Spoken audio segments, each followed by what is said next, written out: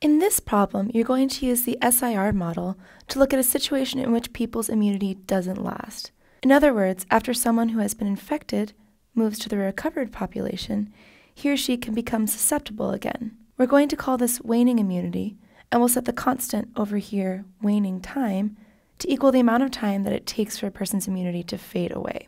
Most of the information we've given you in the supply code you've seen before, but there are a couple of things that are particular to this unit. You see that we have the transmission coefficient, which is a measure of how frequently each day each infectious person might infect someone else. You can also think of it as the likelihood that an interaction between an infected person and a susceptible person will end up with the susceptible person becoming infected. Just make sure that you note that its unit is one per person per day. Now, the first thing that we want you to do is to define waning time right here so that eventually we have a system in steady state where the number of recovered people is equal to two times the number of infected people. So think about what this means in terms of the time that people should spend infected versus the time that they should spend recovering.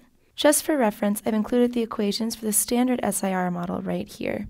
Remember that these equations don't include waning immunity, so first think about how you need to change them in order to reflect the situation at hand. Once you've figured that out, you'll need to translate your mathematical expressions into code. We've already created lists for S, I, and R for you, and we've set the initial values for susceptible, infected, and recovered populations right here. Next comes a for loop, part of which you'll have to fill in. We've given you S2I right here, which is the number of people moving from susceptible to infected during one time step. We've also given you I2R, which is the number of people going from infected to recovered in a given time step. What you need to do is to define R2S, the number of people who, in one time step, become susceptible again after they've recovered. Just to be clear, all three of these are measured in number of people, not in number of people per time.